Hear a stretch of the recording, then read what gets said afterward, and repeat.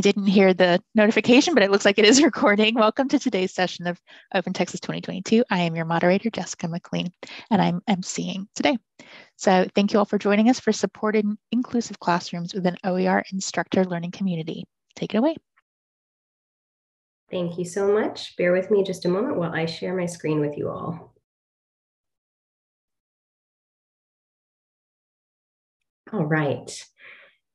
Good morning, everyone. Uh, on this last day of Open Texas, I hope you've all been able to attend lots of fun sessions. I know that I have, um, and we really appreciate you joining us this morning.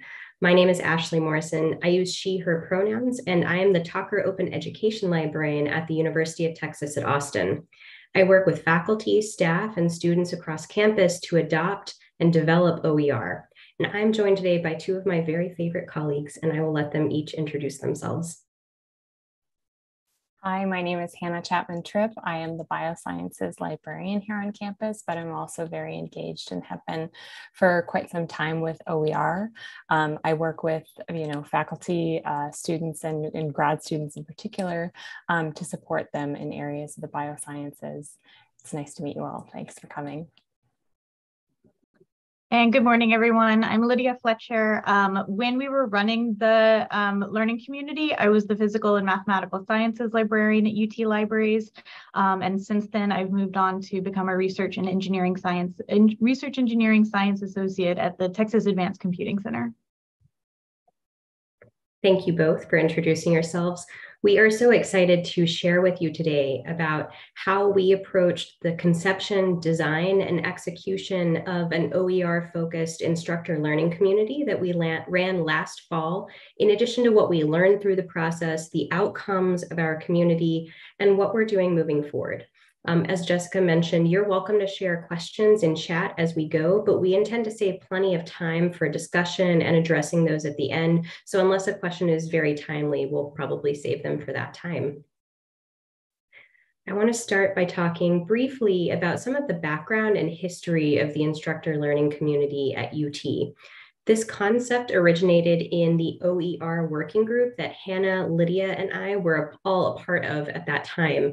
Um, our OER working group is probably similar to those on many campuses um, represented in this session today.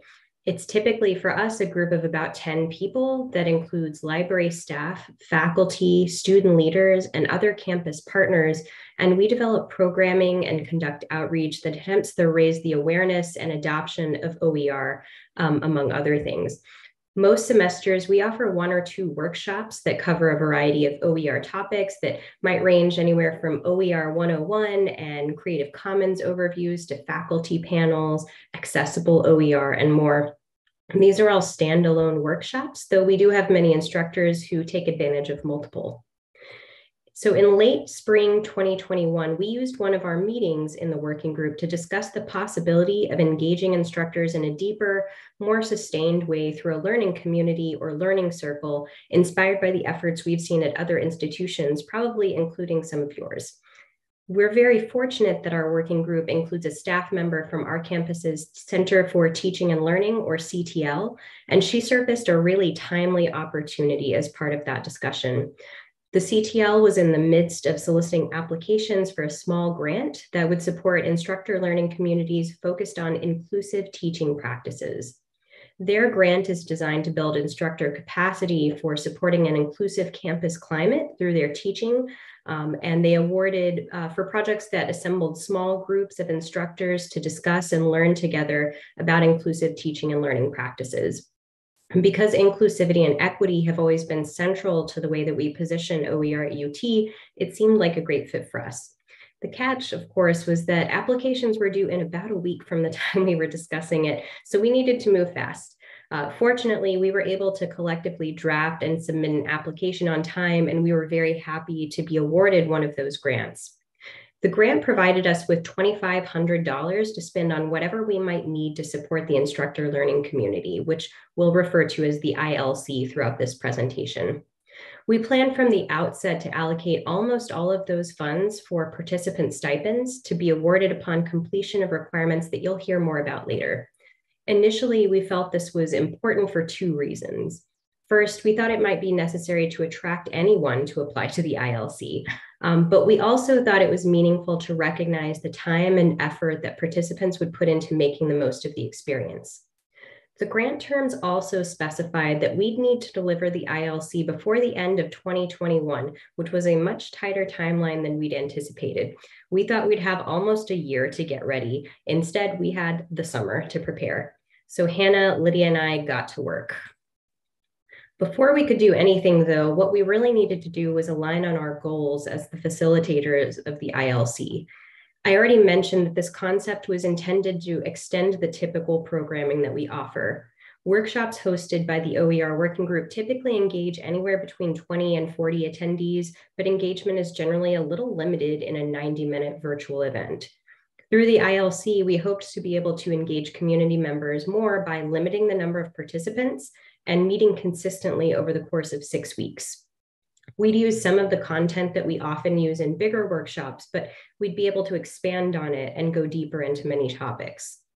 We also thought that the cohort model might encourage more active engagement by allowing participants to develop relationships with new colleagues and introduce them to people and ideas outside of their discipline. We also thought about what we wanted to happen after the ILC concluded. For us, success would mean that at least some of the participants adopted OER and other no cost materials, and that they continue to be engaged as part of the community of practice on our campus. Ideally, some would become champions and advocates who are willing to talk to their colleagues about OER or join us at events or other promotional opportunities.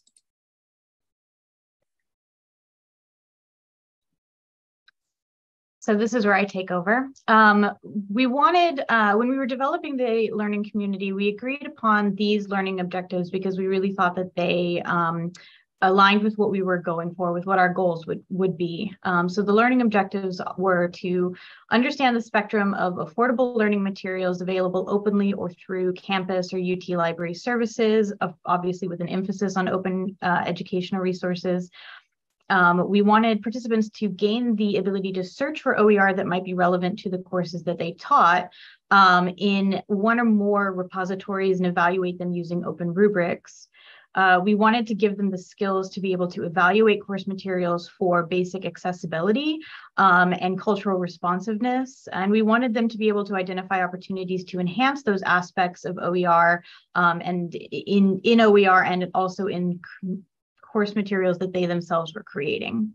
Um, and we wanted them to be able to identify and interpret open licenses associated with OER um, that were created by others um, in the hopes that they would understand what they could or couldn't do with the materials that they wanted to use in their classes, how they could or could not adapt them, um, but also to teach them those topic, those um, uh, how to interpret those licenses so that they could apply them to their own works that they were creating.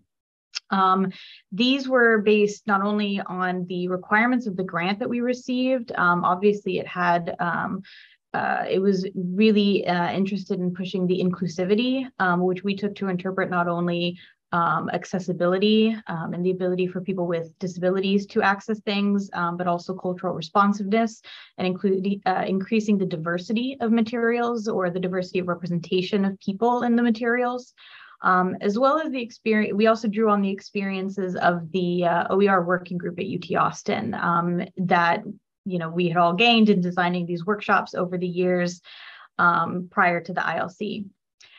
Um, and so, next slide. Uh, these learning objectives really paid really played a huge part in how um, we wanted to um, select the topics, align the topics, um, and design the assignments over the course of the ILC. Um, so here on the screen, we've got a screenshot of part of the schedule that we put together. And um, thank you, Ashley. Uh, she's sharing the uh, link to the full syllabus, which I'm going to be talking about quite a bit um, in my part of this presentation. People are welcome to look at it. This is the open version that we're making available for people to, you know, use and draw on for their own uh, ILCs or learning communities or, or just for your information.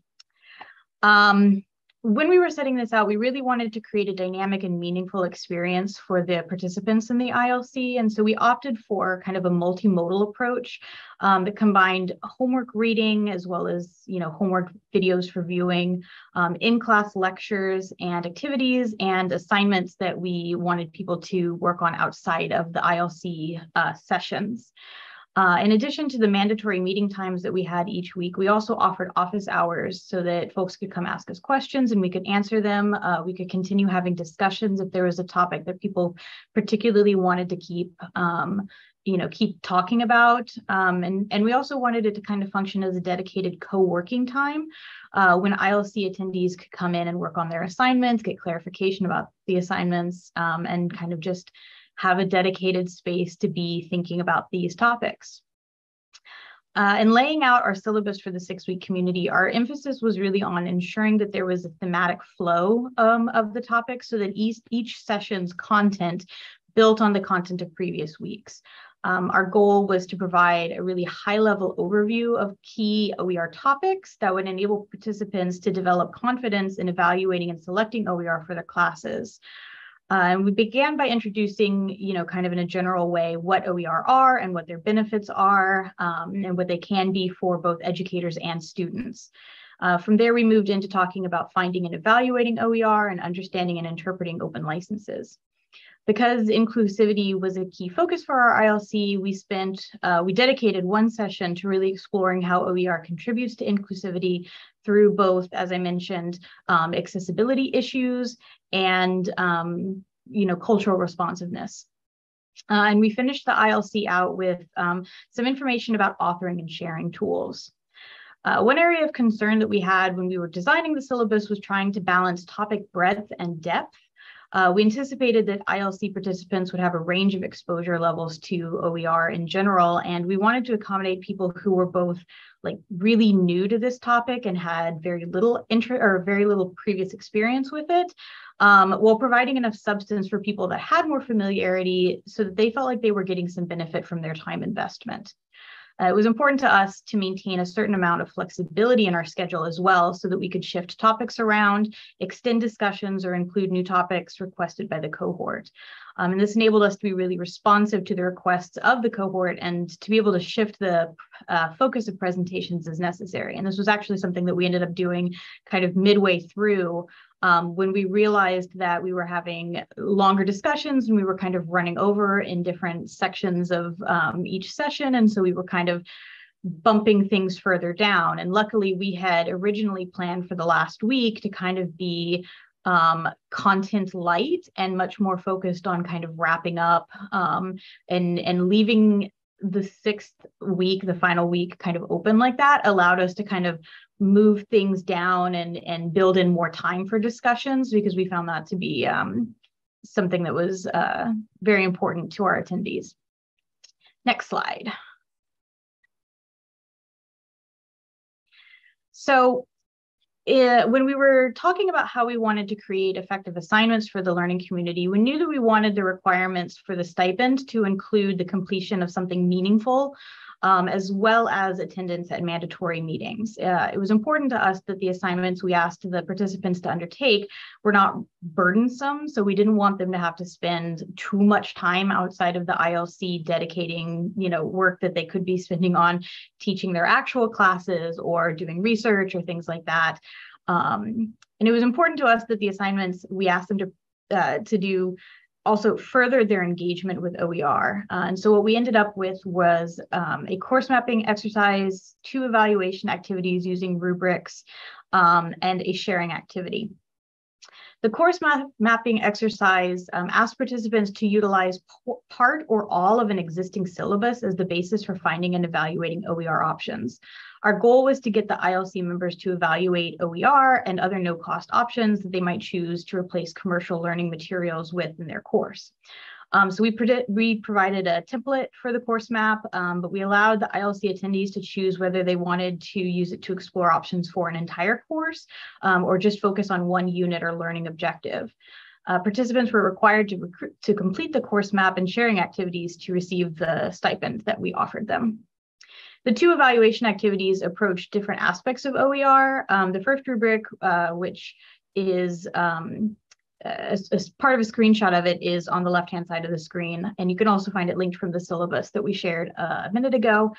Um, the first rubric was created to kind of be an overall evaluation of the usefulness of a specific OER for the participants' needs for their class. Um, so it covered OER topic breadth and accuracy, quality, student engagement, cultural responsiveness, and licensing. And it also included a short section on accessibility, but we asked participants to engage more specifically with evaluating accessibility by using a rubric that was created by Affordable Learning Georgia. The final assignment for the ILC was a sharing activity. Uh, so members could choose from several different options for this, from writing a blog post to applying an open license to a learning object that they'd already created uh, and sharing it in an OER repository. Um, we didn't want this activity to feel overwhelming, um, but it was important to us to underscore the importance of sharing um, to the OER ecosystem. And so, you know, particularly in getting their colleagues engaged, uh, contributing to the OER ecosystem, you know, things like that. Next slide. Uh, so we decided when we were putting the uh, learning community together that we wanted to um, utilize Canvas, uh, which is the learning management system that's used here at UT Austin. Uh, you can see a screenshot of our um, Canvas page on the right. Uh, this is the screenshot of the public version, but it's obviously got the UT branded Canvas look to it. Um, I think if you actually go to the link to the uh, the public version, it's it's in just the normal OER Commons uh, UI. Um, so we chose Canvas um, because we knew we wanted a space to collect everything together, and it made sense to go with Canvas because it's um, something that the community members who were mostly UT Austin faculty were already familiar with and were visiting several times a week, if not several times a day. Um, Canvas allowed us to organize the content in discrete modules, and you can kind of get a sense of that in the screenshot where you can see that like week one is kind of all grouped together, um, which, you know, was really helpful for us to be able to say, okay, here's the agenda document, here's a homework document, which I think in that case was the rubric. Um, that was shown on the previous slide, um, a link to a discussion hub where people could ask questions or give feedback or you know, just continue to have a discussion offline um, as well as an external link to um, a um, the, the presentation that we actually gave during the class.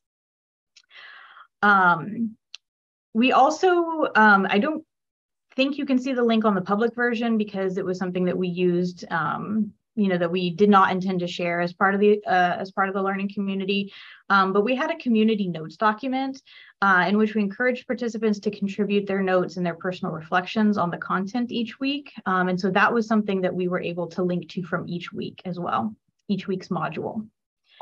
Another reason that we decided to use Canvas was that we knew going into the ILC that we wanted to create a public version of our resources and to publish that um, and make it available for other people to adopt at their institutions. And so Con Canvas gave us a really um, yeah, kind of easy way to do that by publishing a public version of the course to Canvas Commons. Um, so we were able to take the materials that we'd created, apply open licenses to them, and then put them in this Canvas shell, put it in Canvas Commons, and then allow other folks from the community to find it and copy it into their home Canvas installation version. Um, so that really aligned, you know, with our goal of um, sharing what we had done, contributing back to the community, emphasizing for our members that, you know, this is an important element of OER. Um, and also by making our materials available, we were hoping that other institutions would be able to use them to jumpstart OER advocacy programs, workshops, things like that at their own institutions, which plays right back into um, that primary goal that we had of promoting inclusivity through open resources. And now I will hand it off to Hannah. Thank you, Lydia. Make sure we're on the right page. Great. Um, so I'll be talking a little bit about building the community now. Uh, and that, of course, uh, starts with the recruiting and selection uh, process of participants. So, in recruiting applicants, um, in order to get the word out, we really relied upon networks of li uh, liaison librarians, um, several campus newsletters, email lists, and the community of OER advocates that we had already been building on campus through years of running workshops um, so that was quite successful, um, but we ended up devising an application form in Qualtrics for interested parties to fill out. And this form wasn't too long because we didn't want to make it too arduous or scary, you know, to just fill out the application form.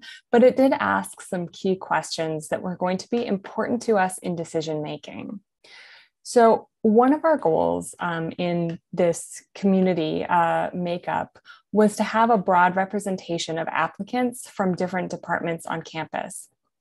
We also prioritized a community in which multiple levels of instructors were represented. So all the way from you know, your grad student instructors to lecturers to tenured faculty, uh, et cetera. So we wanted to target areas um, as well of potentially high impact.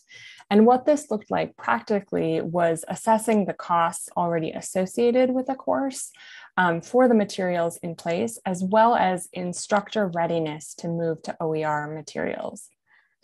So another component that we discussed were the enrollment levels of courses from the previous year. And this is purely from a practical point of view. So this could help us in discerning an applicant's potential impact in terms of cost savings for students if needed. Now, this really wasn't a simple metrics based process, um, but I think it really did benefit us to have all of that information available as we were going through the decision making process. It was also somewhat important to us that instructors had a high degree of autonomy over the course materials that were used in their classes. So we made this clear in the call for applications. Um, and while we would have loved to include more, uh, you know, TA level um, folks, we really wanted um, folks that would have the opportunity to actually change the materials in their classes. So during the applicant review, uh, we reviewed the applications uh, stripped of any personally identifying information. So I don't believe we saw names, but we did examine the home department, uh, the classes they are responsible for teaching, um, the plans to integrate OER within the next year, some current required course materials costs, uh, and enrollment levels. So in addition, we also had a free text question, which allowed us to identify objectives in applying to the ILC and get a sense of their familiarity with OER and the open landscape. Um, so our response uh, for the first run of the community, uh, we had applicants that outnumbered our ideal target number of participants. And what this suggested to us uh, was that the program uh, which was a deeper learning experience with a higher level of continued engagement, was indeed a desired component of OER development here on campus. So this meant that ultimately we did need to have some tough conversations uh, about who to make offers to and why. And ultimately, those difficult decisions were made primarily based on the departmental representation of applicants. Though we didn't uh, need to rely too heavily on the criteria that we developed, I think that we are all glad that we spent time developing it because it can be very hard to try and make unbiased determinations about who to accept in those instances. So we did discuss the potential of inviting all applicants into the program, but ultimately determined that if that we did want to cap it at 10 participants to ensure that the cohort experience uh, remained a strong one and that each participant would have the opportunity to share and start discussions um, in the required session each week. So the cohort ended up having a very strong representation from the languages, uh, but we did have a good mix of departments represented, including mathematics, uh, advertising, uh, music, chemistry, Asian studies, and classics, in addition to the languages. So it was a good mix of different instructor levels uh, that we had hoped for. Um, and there were also several applicants that we did need to turn down, uh, but we made the decision to offer them spots in the intended run of the ILC the following year or 2022. Uh, next slide, please. Thanks. So in facilitating um, the learning community, um, we initially, during that planning phase uh, over the summer of 2021, we were quite optimistic that we could meet in person for at least some of the meetings. Of course, little did we know that the COVID 19 pandemic had some other plans. Uh, so once we had the composition of the cohort in place, uh, we did a survey of all the participants and determined from that survey that not only was Zoom preferred as the primary uh, meeting venue, um, meeting mode, but for several of the participants, that virtual participation would be a key component to their participation due to distance and time constraints uh, with other standing commitments, which included their classes, which we of course wanted them to be able to get to and to teach. So this wasn't too much of a pivot from what we had initially planned. Um, and it turned out to be quite successful when conducted virtually. But it did make us glad that we had stuck at the cap of 10 participants. Um, some cohort, um, some, excuse me, some concerns that we'd had initially about engagement possibilities between cohort members proved not to be an issue. Um, and also some other tools that we used to keep in touch with members um, were a set of Google Documents, uh, post-session email reminders, which Al uh, Ashley diligently sent out, and of course the Canvas course. And as Lydia mentioned earlier, uh, several homework assignments were incorporated, like using a rubric to evaluate a found or personally created OER for its content features, and using an accessibility rubric to evaluate an OER. So to obtain the associated stipend, we were requiring completion of several final objectives. And these were completion of a course map to associate OER or free materials with predefined learning objectives uh, for that class or a timeline of the content delivery for the class in question. A second was one sharing activity, which could be broadly interpreted. This could be an openly, um, openly licensing and sharing a learning object that you've already created in an OER repository or a proposed alternative. So we wanted to leave that really open to the community uh, to decide individually. Also required was attendance of five of the six weeks of the ILC mandatory meetings. So the majority of participants that we had did complete all of these objectives to earn the associated small stipend.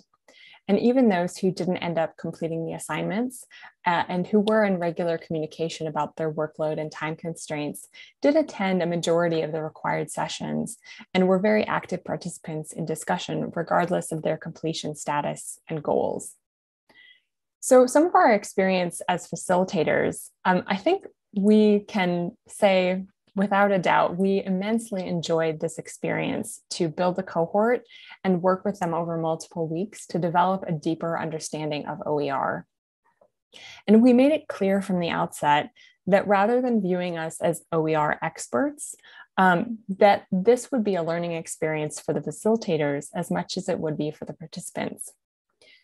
So I can say for each of us that we really learned so much and built connections with instructors that we might not have had the opportunity to forge otherwise.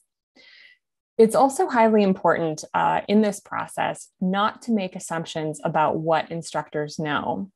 The level of familiarity with open resources uh, when participants entered the ILC did vary quite a bit, uh, but the course was well paced and met most participant needs. So we also took several temperature checks to evaluate kind of how things were going. And if there was content that the cohort wanted to see in the syllabus that wasn't already included. And through this experience, we ended up adding a new lesson on authoring platforms for OER, uh, which did require some shifting around of other content. So overall, we valued a more engaged working group and getting to know each other and our diverse strengths and areas of expertise over the course of the community. But we will do some things differently. Uh, so we are planning to run the ILC again this fall, um, but with a mostly different makeup of facilitators. Much of the content is already created and will be reused, uh, but we are trying several things a bit differently. So the office hours component of our first run was not very successful. Uh, it was attended a few times, uh, but I think instructors didn't know necessarily what to bring to the office hours, as opposed to points that they might just have during discussion in the mandatory session. So we are maintaining office hours this year, though we plan to vary the times and dates a little more to allow for more attendance based on their schedules and offer some ideas weekly um, as targets in, in the progress of their project where they might request guidance from a facilitator. Uh, we are also aiming for a more flipped classroom and uh, active learning approach this year, uh, as we heard requests uh, for more activities loud and clear from our uh, feedback that we gained. We are also revising some of the activities based on the feedback, uh, which you can find at the um, in the graph at the top right of this slide. So despite our best efforts, it did end up being somewhat lecture heavy, which I think we're trying to move away from more this year. So we're also consciously infusing the entire ILC with inclusive practices. Um, so that we won't just have a single day designated around inclusive practices, but rather it can be an overarching theme that consistently reoccurs throughout the content and the discussions. So we're also experimenting with a choose your own adventure final project, wherein a participant can determine if they want to plan to adopt or adapt an OER or to create a new OER. And this is a result of many discussions that we had held internally. And ultimately, we had decided that much of the content um, of the course is highly similar for those uh, creating and those adopting OER. It just needs to be framed in a slightly different way. For example, an activity in using an OER repository can help identify potential OER to use for those who do plan to adopt, but it can also be a useful exercise in familiarizing oneself with the landscape of already existing OER and doing somewhat of a gap analysis uh, for those who plan to create new OER. Another change we would make uh, is the stipends, uh, which is a little hard for me to say, um, but it was um, something of a bonus to have, you know, a monetary incentive for completing the ILC.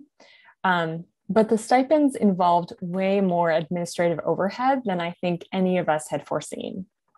And because the amount of money ended up being, you know, quite small when divided across the participants, it likely wasn't a primary driver to apply for or to complete the requirements of the course. So, in the end, uh, we deemed the financial award not worth it.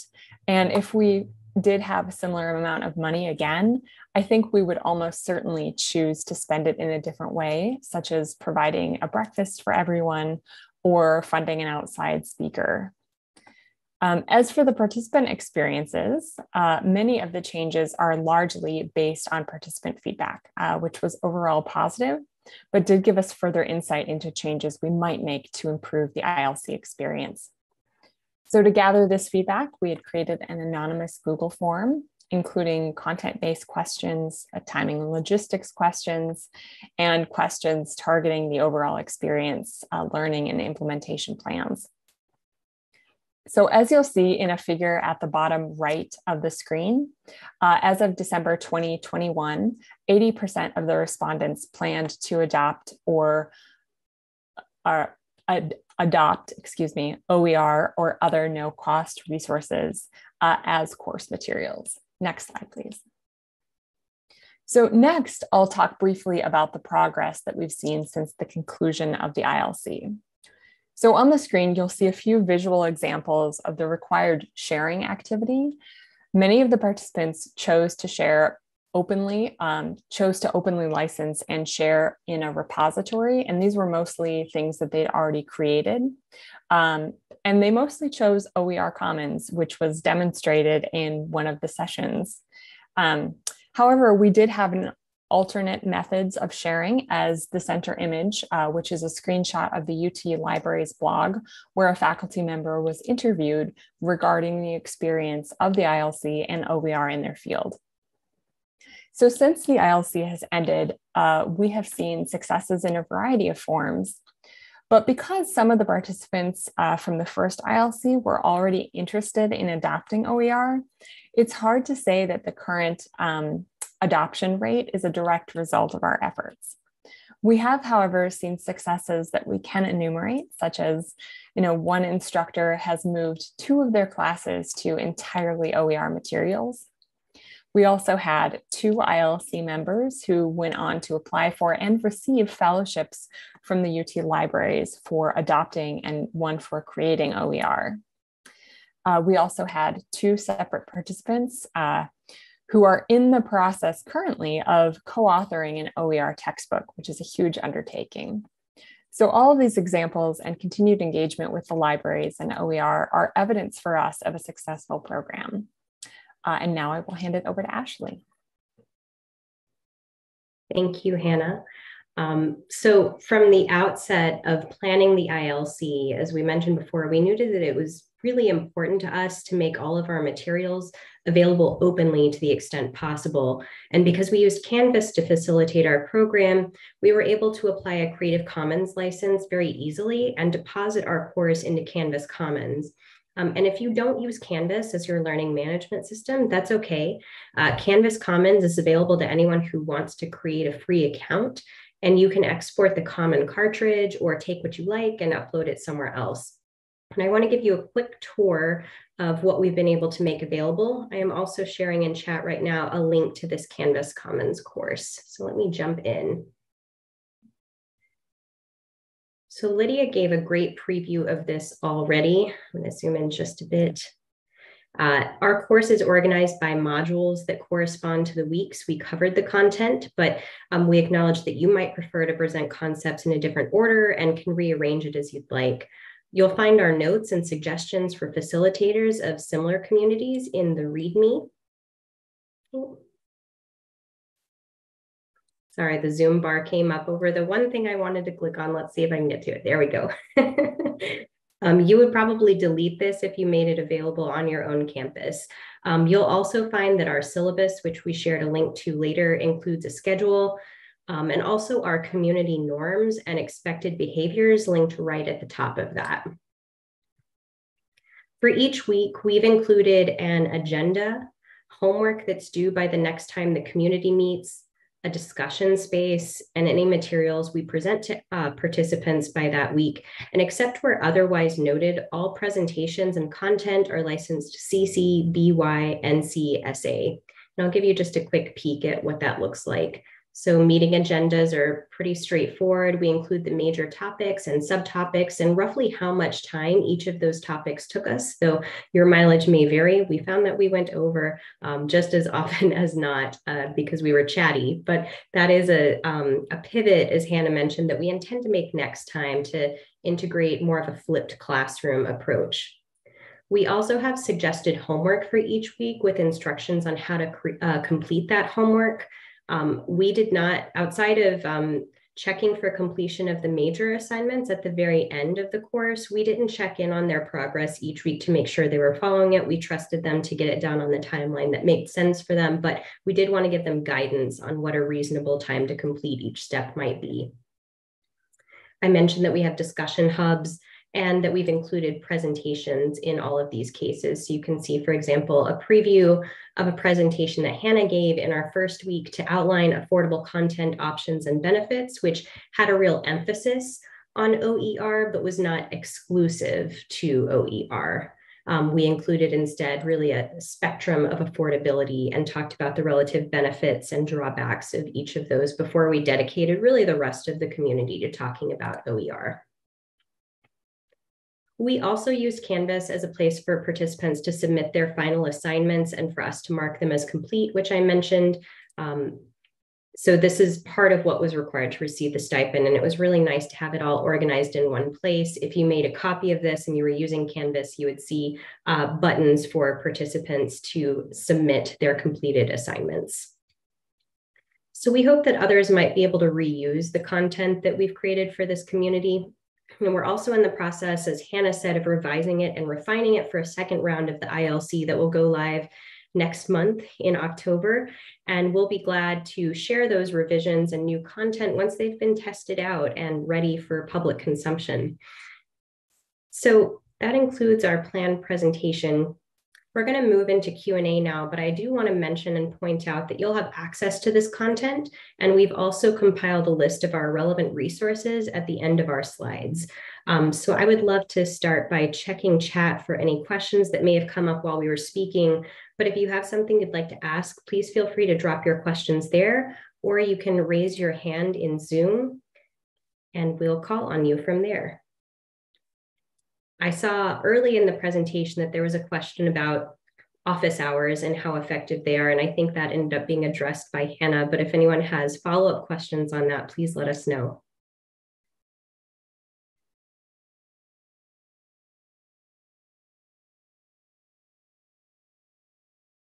Any other questions?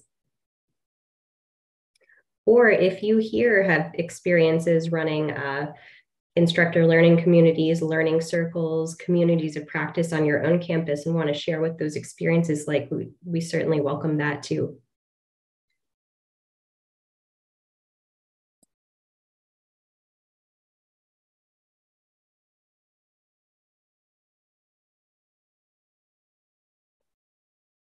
Well, there may not be any questions, and that's okay if so. I do want to share a link to our slides here so that you have access to all of this after you leave today. Um, I'm happy to stick around for more minutes in case you want to ask something off the record, but perhaps we can stop the recording.